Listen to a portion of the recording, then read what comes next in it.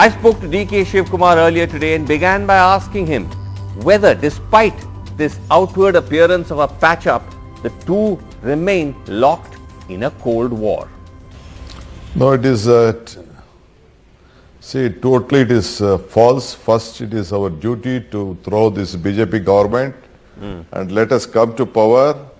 Then my party high command will decide who has to lead the state.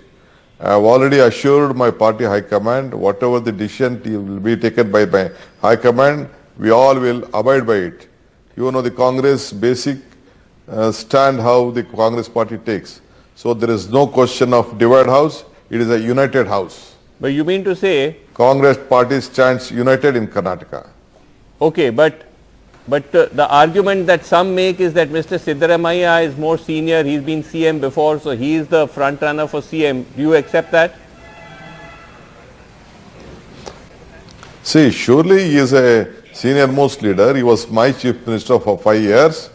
We, he, was, he is our CLP leader. We respect him for all his contribution and service to the Congress party.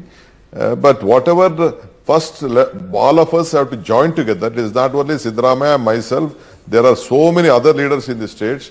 We all have to work together and throw down this most corrupt government of this Karnataka which has ever seen. Okay.